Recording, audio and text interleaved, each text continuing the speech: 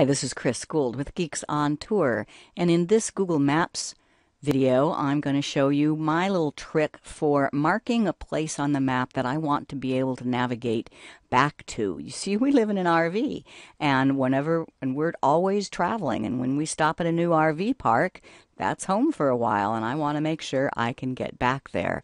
So I use a technique to mark a star at that spot, and then I can always navigate back to the star. Let me show you how.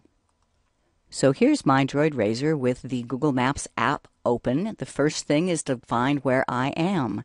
That little compass rose icon in the upper right, touch it and it zooms to where I am. Then I see the blue triangle, which represents my location, and touch it. Then you touch again to open up more detail. And in the upper right hand corner, you see an outline of a star. Touch that and it turns gold. From now on, until you would remove that star, there is a star in that particular spot on your Google map, which makes it so easy to navigate back to when I want. So now I've driven somewhere, going out to breakfast or going to the grocery store, and I want to get back to the RV park, which is home right now.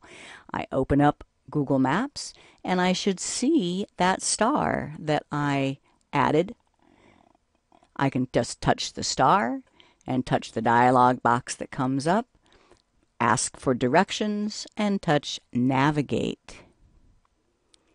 And I'm on my way home.